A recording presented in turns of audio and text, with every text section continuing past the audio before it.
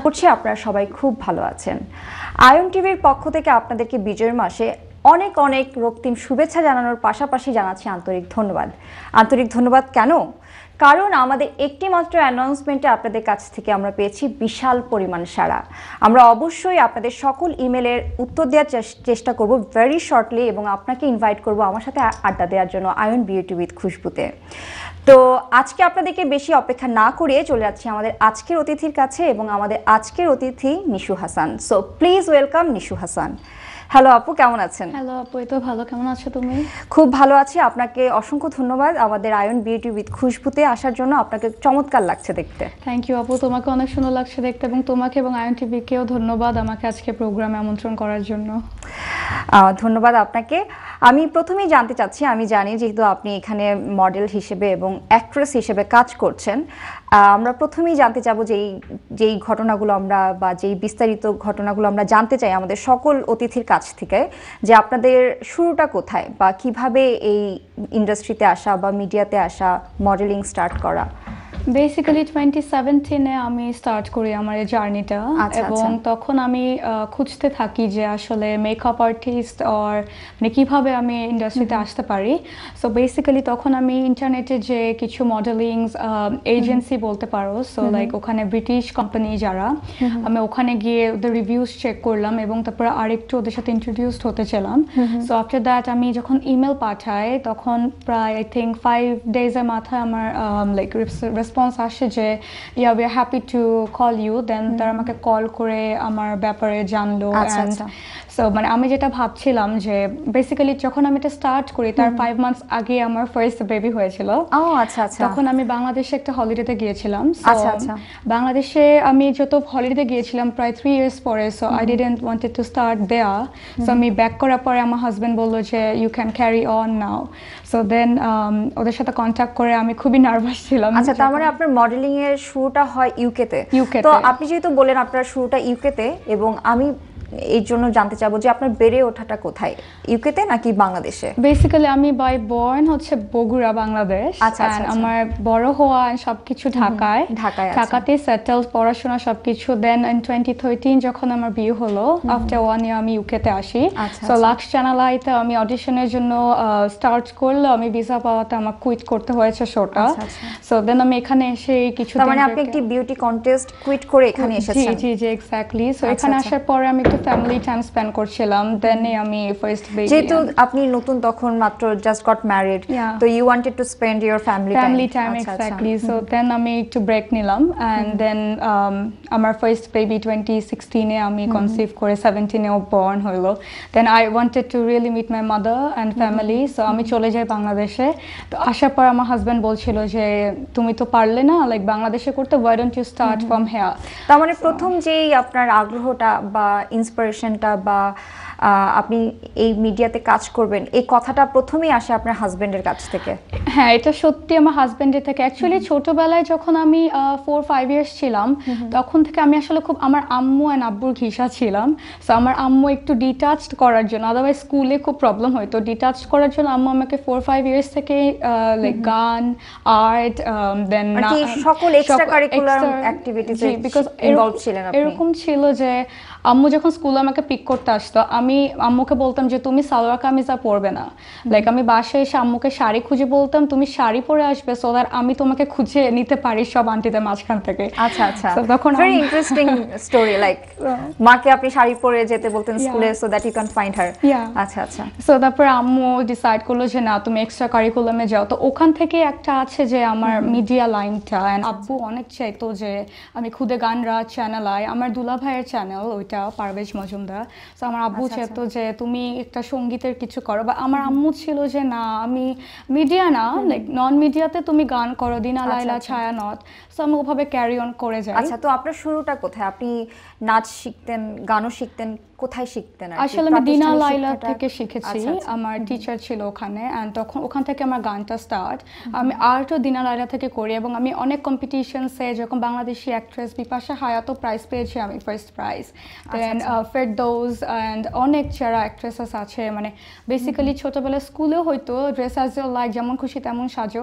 So আমার আম্মু তখন আমাকে মিস ওয়ার্ল্ড মিস ইউনিভার্স ছোট আচ্ছা, আচ্ছা। থেকে অ্যারাউন্ড যখন ফাইভ সিক্স ইয়ার্স তখন থেকে মানে আম্মুদের ওইসবে আমি আসলে প্যাম্পারিং আমি ভেবেছি যে ওয়াই নট আমি একটু ভিন্ন কিছু আচ্ছা, করি আচ্ছা। তারপর প্রথম থেকে আপনার ফ্যামিলি সাপোর্টটা ছিল বা। তাদের খুব আগ্রহ ছিল যে আপনি মিডিয়াতে আসবেন বা মিডিয়াতে কাজ করবেন বিভিন্ন সেক্টরে তো আপনি আমি যদি প্রথমেই বলি যে গান শেখাটা গান শেখাটা কতদিন পর্যন্ত ছিল বা আপনি গান নিয়ে কত দূর পর্যন্ত এসেছেন? আমি প্রায় টেন ইয়ার্সের মতো গান করি। তারপরে আমার ও লেভেলস যখন এক্সাম শুরু হয় তখন আসলে পড়ার এত চাপ ছিল যে পরে আম্মু বলেছে না লাইক এটা এত একটা মানে বড় এক্সাম তুমি এটাতে কনসেন্ট্রেট করো। বাট আমার আম্মু এখনও বলে তোমার হারমিনিয়াম আমি রেখে দিয়েছি why don't you carry in you UK so আমি বলছি এত ওয়েটেড মানে এখন আমার হয় না। প্র্যাকটিসটা ছেড়ে যাওয়ার পরে মানে এখন চেয়েও বসা যায় না বাট বাংলাদেশে গেলে আম্মু তো বসায় দেয় না আমরা কিন্তু আমাদের দর্শকদের জন্য আপনার কণ্ঠ থেকে একটি সুন্দর গান শুনব কিছুক্ষণের মধ্যে। আপনার পছন্দের একটি গান যদি আপনি আমাদের দর্শকদের জন্য একটু শোনান, তাহলে হয়তো আমাদের দর্শক অনেক আর কি আনন্দিত হবে। তার আগে বলতে চাই যে, এই গান নিয়ে কি আপনি কখনো চিন্তা করেছিলেন কিনে যে আমি ভবিষ্যতে গান গাইতে চাই বা গানটা কন্টিনিউ করতে চাই? বেসিক্যালি এটা তো অনেকই চেয়েছিলাম। Before I come in modelling আমার ছিল যেটা সিঙ্গারের পারফরমেন্স একটা সিঙ্গার ব্যাক প্লেব্যাক সিঙ্গার কিছু একটা হয় আমার আব্বু আমাকে বলতো আম্মু বলতো তুমি যাও তুমি করো। বাট আসলে যখন ছেড়ে দিয়েছি গ্যাপে মানে আমি আর অ্যাডজাস্ট করতে পারিনি। দেন আমি আসলে ফটো শুট থেকে শুরু করি অ্যান্ড দেন আই ফটোশুটটা স্টার্ট হয় আপনার টু থাউজেন্ড সেভেন্টিনে ইন এ। ইউকেতে তে। এর আগে বাংলাদেশে আপনি কোনো কাজ করেছেন কিনা মিডিয়াতে বা কোনো ফটোশুট কোনো মডেলিং কোনো টিভিসি এনিথিং এলস না অ্যাকচুয়ালি লাক্স থেকে আমার ক্যারিয়ারটা শুরু করতে চেয়েছিলাম বা আনফর্চুনেটলি আমি পারিনি আমার এখানে আসতে হয়েছে। সো আমি নেক্সট মান্থে বাংলাদেশকে রিপ্রেজেন্ট করব ব্রিট এশিয়ানে নাইনটিন্থ আমার অডিশন আচ্ছা আচ্ছা তার মানে আপনি আরেকটি বিউটি কন্টেস্টে যাচ্ছেন। এক্স্যাক্টলি আচ্ছা আচ্ছা কংগ্রাচুলেশনস থ্যাংক ইউ তখন হয়তো আমি লাক্সেটটা এখানে এত বড় জায়গায় দেশের বাহিরে বাংলাদেশকে রিপ্রেজেন্ট করে হোপফুলি আমি লাক্সের আশাটা পূরণ করে ফেলব। আচ্ছা আচ্ছা। ভবিষ্যতে আমি যদি জানতে চাই, আমরা জানি যে আপনার দুইজন বেবি আছে, আপনি সংসার আছে সব কিছু আছে। তারপরেও যদি জানতে চাই, এত কিছুর পরে ব্যস্ততাটা কেমন? কি নিয়ে ব্যস্ততা?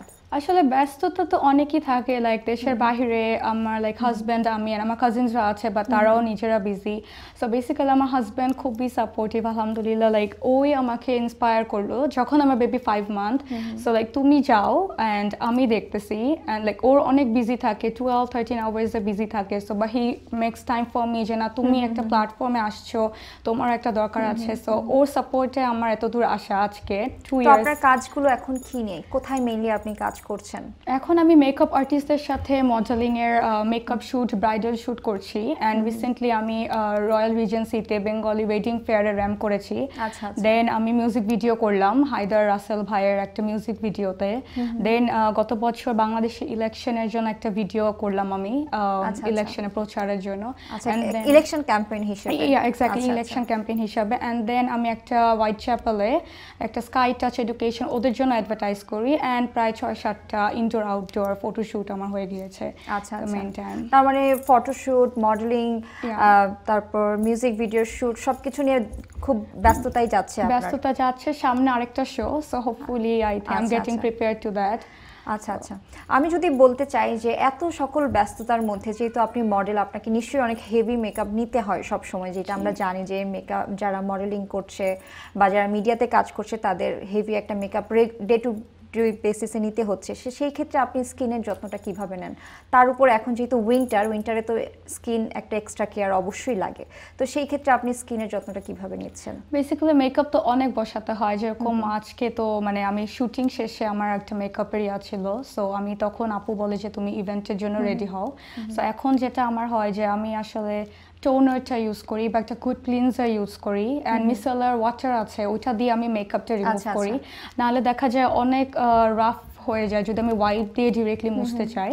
সো আমার লাইক আপনি যেন মাইসেলার ওয়াটার ইউজ করছেন বা ক্লিনজার ইউজ করছেন। ক্লিনজার ইউজ করছি অ্যান্ড দেন আমার স্কিন খুবই ড্রাই অ্যান্ড ড্রাই স্কিনে লাইক অনেক কিছু মানে আমি চেলেও করতে পারি না। খুবই সেন্সিটিভলি এবং খুব মানে কেয়ারফুলি আমার সব কিছু ইউজ করতে হয়। অ্যান্ড স্কিন কেয়ার যদি বলি এটা হচ্ছে আমি অনেক প্রোডাক্টস ইউজ করছি। লন্ডনে এসে মানে আসার পর থেকে স্কিনটা এত ড্রাই হয়ে গিয়েছিল। হ্যাঁ আমরা জানি যারা হয়তো আপনার বাংলাদেশ থেকে ইউকেতে আসে প্রথম দিকে যেই একটা স্ট্রাগল থাকে সেটা হচ্ছে স্কিন ড্রাইনেস স্কিনে স্কিন থেকে ফ্লেকি স্কিন উঠতে থাকে বা ড্রাই স্কিন উঠতে থাকে বা স্কিনের কোনো বলব গ্লোটা চলে যায় বা স্কিনটা ডাল হয়ে যায় সেই ক্ষেত্রে কিন্তু একটি ভালো ময়শ্চারাইজিং ক্রিম ইউজ করা খুবই জরুরি। তো আপনি এই যে ড্রাইনেস কাটিয়ে ওঠার জন্য আর কি কি প্রোডাক্ট ইউজ করছেন বা কি ধরনের প্রোডাক্ট ইউজ করছেন? আমি অনেক প্রোডাক্ট ট্রাই করেছি বাট রিসেন্টলি আমি যেটা নাম্বার সেভেন বুথসে আছে। বুথসের number seven early defence day cream and night cream এটা খুবই ভালো। অ্যান্ড তার সাথে বুথসে কিউকাম্বার একটা ক্রিম আছে। ওইটা মানে ওইটাও অনেক কাজ করে। সো এই দুইটা নিয়ে এখন আমি ক্যারি অন করছি বিকজ আমি খুব প্রোডাক্টস চেঞ্জ করলে এটা মানে আমার উপরে তার মানে আপনি যখন একটি প্রোডাক্ট ইউজ করেন ওই প্রোডাক্টটাতেই আর কি স্টিক থাকতে পছন্দ করেন। আচ্ছা আচ্ছা। সো দেন আমি আরও যেটা করি আমি জার্মালজিকা একটা ব্র্যান্ড আছে। সো আমি ওখানে যে আমি জাস্ট আই ট্রাই অন যে স্কিনটা মানে কীরকম করে ভালো রাখা যাবে ওদের অনেক প্রোডাক্টস থাকে। সো প্রথমে আমি যেটা করি আমি কিছুক্ষণ ইভেন যদি স্কিন কেয়ার হয় আমি এটা অ্যাপ্লাই করে আমি অন্য কোনো জায়গায় ঘুরছি জাস্ট টু সি এটা কতটুকু অ্যাবজর্ব হচ্ছে। অ্যান্ড দেন আমি এসে পারচেস করি আই থিঙ্ক এটা বেস্ট হ্যাঁ আমরা মনে করি যে আমার কাছে এটা মনে হয় যে আপনি সেটা ড্রাগ স্টোর প্রোডাক্টই হোক বা হাই এন্ড প্রোডাক্টই হোক যে ধরনের প্রোডাক্টই আপনি কিনতে চান আপনার হয়তো প্রথমে একটু নিজেকে নিজে রিসার্চ করে দেখা যে আসলে প্রোডাক্টটা ভালো কিনা বা প্রোডাক্টটা আসলে কি ড্রাই স্কিনের জন্য নাকি কম্বিনেশন স্কিনের জন্য নাকি অয়েলি স্কিনের জন্য বা সেন্সিটিভ স্কিনের জন্য। আর সেই ক্ষেত্রে আপনি প্রোডাক্ট কেনার আগে এখন দেখা যায় যে সকল প্রোডাক্টেরই কিন্তু একটি স্যাম্পল থাকে। সেটা ক্লিনজার হোক বা কোনো মেকআপ প্রোডাক্টস হোক বা ময়শ্চারাইজার হোক। তো আপনি একটু ট্রাই করে যদি দেখতে পারেন অথবা প্যাচ টেস্ট যদি করে নেন তাহলে কিন্তু সেফ টু ইউর স্কিন. হ্যাঁ আর অনেকে আমরা মনে করি যে আমাকে এই ক্রিমটি স্যুট করল না বা আমাকে এই ক্লিনজারটা স্যুট করল না এই ফাউন্ডেশনটা স্যুট করল না। আসলে কিন্তু আমি তাড়াহুড়া করে নিয়ে ফেললাম। আমি তো পরে আর কি আমার টাকাও লস হলো স্কিনেরও লস হলো। সেই ক্ষেত্রে একটু রিসার্চ করে সময় নিয়ে কিন্তু কিনলে আমার কাছে মনে হয় ভালো হয়। এক্স্যাক্টলি আমিও এটাই করি। And actually the thing is high end এবং uh, যদি ড্রাগ স্টোর বলি ড্রাগ স্টোরও ভালো ভালো ব্র্যান্ড আছে মেবিলিন আমি যেটা লন্ডনে প্রথমে এসে মেবিলিনটা ইউজ করতাম। সো বাট তারপরে একটা সার্টেন পয়েন্ট যখন ফার্স্ট বেবিকে কনসিভ করে তখন দেখি যে না অনেক প্রোডাক্টস আমার স্যুট হচ্ছে না স্কিনটা তখন আপনার স্কিন একটু সেনসিটিভ হয়ে গিয়েছে কারণ আমরা জানি যে প্রেগনেন্সির পিরিয়ডে এবং প্রেগনেন্সির পরেও অনেক কিছু আর কি চেঞ্জ আসে। একটা বডিতে হরমোনাল চেঞ্জ বলেন বা খাওয়া দাওয়া রুটিন সব কিছু মিলিয়ে কিন্তু একটা হিউজ একটা চেঞ্জ আসে একটা মেয়ের মধ্যে। সেই ইফেক্টটা কিন্তু আপনার স্কিনের মধ্যে মেইনলি পড়ে। তো সেই সময় কিন্তু দেখা যায় যে আপনাকে ট্রায়াল অ্যান্ড এরর বেসিসেই প্রোডাক্ট কিনতে হবে। হ্যাঁ। সো আমি ই ফোর্টি ফাইভটা ইউজ করেছি কারণ ড্রাই স্কিন অ্যান্ড সেন্সিটিভের জন্য খুবই ভালো। But as I said like প্রত্যেক মানে মান্থের পরে দেখা যায় something happening during my pregnancy so তারপর আমি নর্মাল নিভিয়া ক্রিমি ইউজ করছি ওইটা আমার ডেইলি তার মানে আপনি বলতে চাচ্ছেন প্রেগনেন্সির সময় আপনি যখন দেখা যাচ্ছে যে একটি প্রোডাক্ট হয়তো আমি একটি মাসে ইউজ করছি কিন্তু তার কিছুদিন পরে দেখা যাচ্ছে এই প্রোডাক্ট আমাকে আর স্যুট করছে না।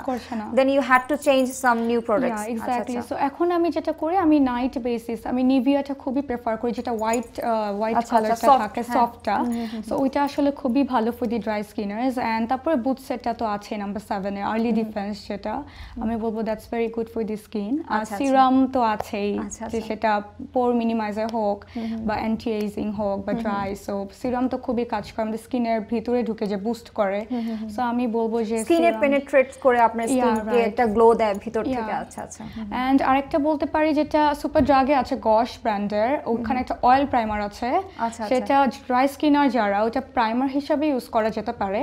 অ্যান্ড আফটার লাইক নাইট টাইমও আপনি যদি চান লাইক ওটা অ্যাপ্লাই করে you can go to. Sleep আচ্ছা। এটা আপনার ফেসকে নেক্সট ডের জন্য প্রিপেয়ার করে ফেলে সো আচ্ছা। Serum it's very good in drug store brand so আচ্ছা আমি যদি বলি যে আপনি আমরা জানি আমরা শুনলাম যে আপনি টু থাউজেন্ড সেভেন্টিনে মডেলিং এর দিকে আসলেন তো তখন থেকেই তো আপনার হেভি মেকআপ নেওয়ার Yeah. ট্রেন্ড বা বলেন রুটিন বলেন একটা স্টার্ট হয়েছে তার আগে আপনার মেকআপের প্রতি কেমন ঝোঁক ছিল বা মেকআপ জিনিসটা যে খুব ফ্যাসিনেট করছে আপনাকে এই জিনিসটা কখন থেকে শুরু হয়েছে আমি ছোটবেলা থেকে অনেক makeup fascinated. Like you can say four or five years তখন। আম্মুর লিপস্টিক নিয়ে আমি খুলে খুলে নাকি লাইক দিতে চাইতাম। অ্যান্ড আমার অনেক কাজিনরা আছে সো। কাজিনদেরকে দেখে দেখে আমি অনেক ইন্সপায়ার্ড হয়েছি।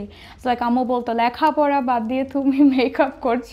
So আপুদেরকে দেখে আমরা অনেক মেয়েরাই কিন্তু আর কি বলতে গেলে মোস্ট অফ দ্য গার্লস. প্রথম যে মেকআপগুলো ইউজ করে দেখা যায় যে আমাদের মায়ের মেকআপ ভ্যানিটি ব্যাগ থেকে বা ভ্যানিটি থেকে আমরা হয়তো মেকআপ সেটা লিপস্টিক হোক আইব্রো পেন্সিল হোক যেগুলো আমরা মায়েদেরকে দেখেছি বা এখন পর্যন্ত কিন্তু আমার মনে হয় যে আমরা যখন প্রথম দিকের পারফিউমও আমার মনে হয় যে আমার মায়ের বডি থেকে কোন স্মেলটা আসছে আমাদের ওই জিনিসের প্রতি কিন্তু সবসময় একটা ফ্যাসিনেশন ছিল। বা মায়ের দেয়া একটা শাড়ি বা মায়ের পরা একটা শাড়ি আমি একটা ওকেশনে পরবো বা স্কুল কলেজের ফেয়ারওয়েলে পরবো এই জিনিসটা কিন্তু আমাদের মেয়েদের মধ্যে অনেক কাজ করে আমার কাছে মনে হয়। আচ্ছা যেহেতু শুনলাম যে আন্টির কাছ থেকে আপনার মেকআপের প্রতি ফ্যাসিনেশন একদম ছোট কাল থেকে তো আমি যদি বলি যে আগের সময়েরকার মেকআপ আর এখনকার মেকআপ এই দুইটাকে যদি আপনাকে ডিসক্রাইব করতে বলা হয় আপনি কীভাবে ডিসক্রাইব করবেন? আসলে হিউজ ডিফারেন্স এখন অনেক কিছু অ্যাডভান্স হয়ে গিয়েছে। আগে বাংলাদেশে টু বি অনেস্ট আমরা বসুন্ধরা সিটি বলেন অর আমরা সান প্লাজায় যে জর্ডানা ব্র্যান্ড যেটা অনেক কমন বাংলাদেশ, আলমা সুপার স্টোরে গেলাম আমরা ওনাদেরকে বললাম বা অনেক সময় ওনারও অ্যাডভাইস দিতে পারে না like we have to search our own তখন ইউটিউবে এত কিছু ছিল না। সো লাইক আম্মুদেরকে তখন আসলে সোশ্যাল মিডিয়ার এত বড় ঝোঁক ছিল না। তো আমরা মার্কেটে গেলেই যে প্রোডাক্টগুলো হয়তো দেখতাম বা যারা সেলস অ্যাডভাইজার হিসেবে কাজ করতো তারা যে প্রোডাক্টগুলো হয়তো আমাদেরকে রেকমেন্ড করতো আমরা মেইনলি ওই নিতাম কিনতাম। সো আমার ফ্যামিলিতে ম্যাক্সিমাম মানুষ দেশের বাইরে সো তখন তো মানে তখন আপুরা যাইতো বা খালারা তারা সবসময় নিয়ে আসতো। সো আম্মুরা ওখান থেকে ইউজ করছে। আর ডে টু ডে যেটা সেটা তো শপে গেলেই পাওয়া যাচ্ছে। বাট যেটা ফেস প্রোডাক্ট মানে একটা ছিল ফেস অ্যান্ড হেয়ার নিয়ে আসলে কখনোই কম্প্রোমাইজ করা উচিত না। সো আম্মুরা সবসময় দেখা যেত নিজেরা যদি দেশের বাইরে যায় তখন কিনছে। অথবা খালাদেরকে বলতেছে যে okay I want this one একটু আমাকে রিসার্চ আচ্ছা, আচ্ছা, করে আচ্ছা। আমাকে এনে দিলা। সো ওখান থেকে আসলে প্রোডাক্টস নলেজ না আম্মুদের থেকে। সো তারপরে যেটা ছিল ইভেন রিসেন্টলি যদি বলি টোয়েন্টি টুয়েলভ থার্টিনেও এত সুযোগ সুবিধা ছিল না। না না তখন তো social media was not that much popular এখন আমরা একটি যে কোনো সমস্যা যদি ফেস করি for example I have dry. Skin তো আমি গুগলে সার্চ করলেই হচ্ছে যে ড্রাই স্কিনের জন্য কোন কোন ধরনের মেকআপ আমার জন্য অ্যাপ্রোপ্রিয়েট বা কোন কোন ধরনের. ক্রিম ব্র্যান্ড বা কোন কোন ধরনের product oil based water based বা সিলিকন বেসড আই মিন অনেক ধরনের প্রোডাক্ট এখন বাজারে অ্যাভেলেবল যেগুলো আমরা হয়তো একটু গুগলে ভালো করে রিসার্চ করলে কিন্তু পেয়ে যাচ্ছি। আরেকটি জিনিস হচ্ছে এখন ইউটিউবে অসংখ্য ভিডিও তো ইউটিউব কিন্তু আমাদেরকে আর কি নলেজ এনরিচ করার জন্য অনেক হেল্প করছে আমাদের এনহ্যান্স করতেছে আমাদের নলেজ তো সেই ক্ষেত্রে এখন কিন্তু আসলে দুনিয়া মনে হচ্ছে যে হাতের মুঠোয় চলে এসেছে। এবং এই হাতের মুঠোয় চলে আসার জন্যই কিন্তু আমাদের কাছে মনে হচ্ছে যে সমস্যা আরও বেশি যে এত প্রোডাক্টের ভিড়ে আমরা মাঝে মাঝে সন্দিহান হয়ে যায় যে কোন প্রোডাক্টটা নিব কোনটা নিলে আমার স্কিনের জন্য কাজ করবে। এবং এর জন্য কিন্তু দেখা যায় যে দিন শেষে অনেকেই হয়তো বাজেটের মধ্যে শপিং করতে চায়। তাদের জন্য কিন্তু একটা ঝামেলার সৃষ্টি হয়ে যায় যে আসলে বাজেটের মধ্যে আমি কোন প্রোডাক্টটা কিনবো বা কোন প্রোডাক্ট আমার জন্য বেস্ট কাজ করবে।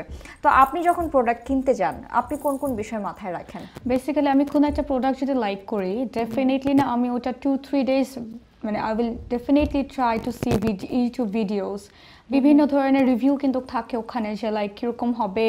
তারা একটা টেন আওয়ার্সের টেস্টও করে সো সারাদিন ধরে। আমি আরও মানে প্রোডাক্টের ইনগ্রেডিয়েন্টস কারণ আমার খুবই সেন্সিটিভ স্কিন সব কিছু মানে হাই এন্ড হইলেও স্যুট করে না। সো দেন আমি যখন টু থ্রি ডেজ আমি যখন সব কিছু দেখে নিলাম আমি ডেফিনেটলি নেক্সট ডে শপে যাই। শপে গিয়ে আমি তাদেরকে বলি যে দেখো আমার তো very dry skin and like ওরা যখন আমাকে সাজেস্ট করে তখন আমি বলে দিই যে আমি নিতে হলে প্রাইমার কনসিলার ফাউন্ডেশন আমি একসাথে নিব।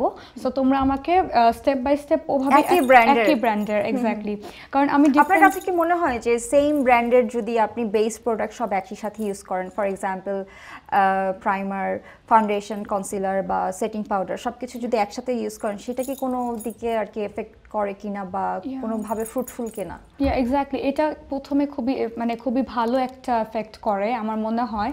কারণ আসলে কি আমরা যেহেতু একটা ব্র্যান্ড দেখে গিয়েছি অ্যান্ড ওটা যদি আসলে ড্রাই স্কিন প্রোডাক্টস মোর থাকে তখন আমাদের উচিত ওখান থেকে base and then like primer concealer and foundation must ওখান থেকে নেওয়া। Contouring and blush on you can try from any store and আমি যেটা করেছি আমি আসলে ম্যাকের যে প্রোডাক্টসগুলো I have really found myself helpful then Giorgio আরমানিতে আমি ট্রান্সফার হয়েছিলাম after using Mac for one and half years so আমি দেখলাম দুটাতেই ড্রাই স্কিনের অনেক প্রোডাক্টস আছে।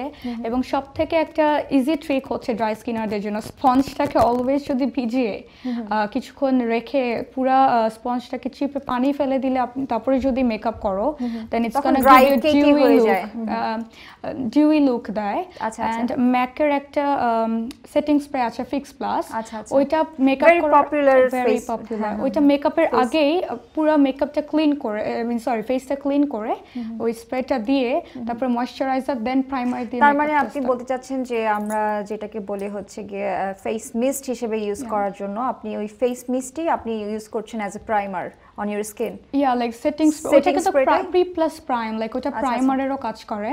সো এটা বেস্ট হবে। মানে স্কিনটা অলরেডি একটু ডিউইশ থাকে and then you can apply moisturiser primer and then foundation step by step কিন্তু অনেকের কিন্তু এক- একটি মতামত থাকবে যে আমি পার্সোনালি আমি নিজেও মনে করি না যে সকল আর কি সেম ব্র্যান্ডের সকল প্রোডাক্ট ভালো হয়। ফর এক্সাম্পল আমি হয়তো পার্টিকুলার একটি ব্র্যান্ড থেকে একটি ফাউন্ডেশন নিতে চাচ্ছি কিন্তু আমার কাছে মনে হচ্ছে অন্য কোনো ব্র্যান্ডের প্রাইমারটা হয়তো বেশি ভালো।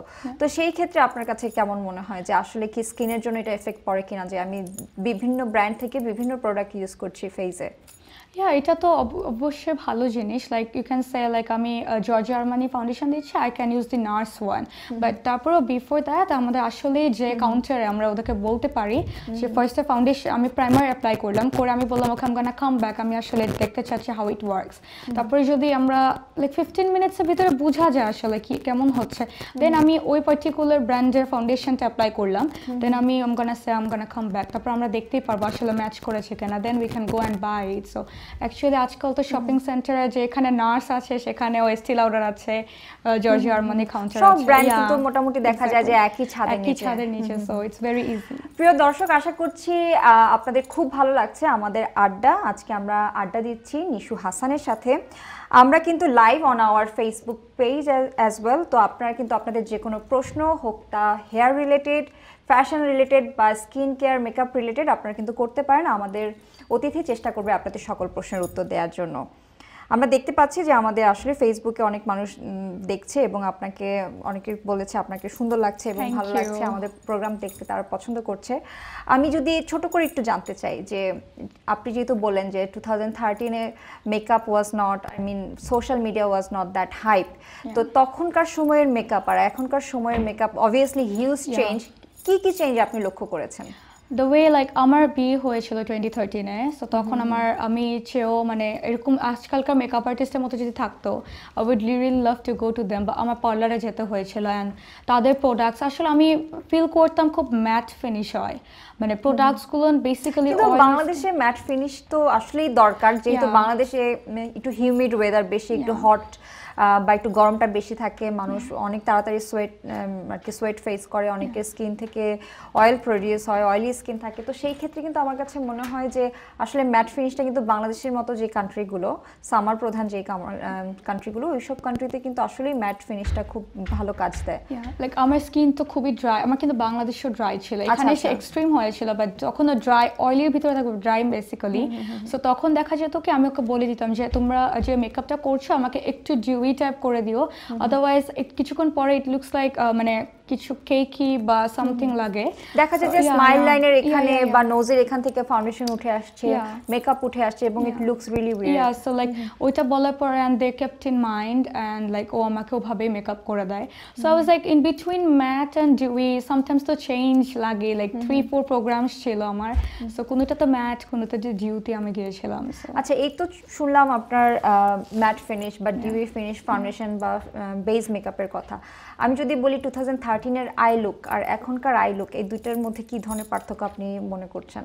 এখন তো অনেক টাইপের আই লুক করা যায় কাট ক্রিজ বা আই ডোন্ট থিঙ্ক টোয়েন্টি থার্টিনে ওই সুযোগটা ছিল। কাট ক্রিজ বলতে যে একটা জিনিস এক্সিস্ট করে আসলে হয়তো আমরা অনেকে জানতাম না।